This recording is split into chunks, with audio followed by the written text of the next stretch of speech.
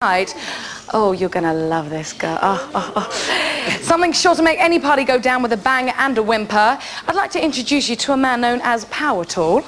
I wonder why. And uh, what he's going to be doing for us here today, he's basically attached a piece of rope to a ring round his scrotum, through his penis, and he's going to drag our lovely word dancer here across the floor. You want to see this, guys? You want to see this? You want to see this?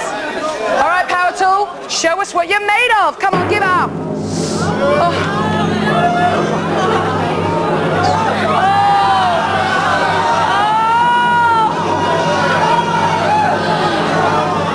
oh my God.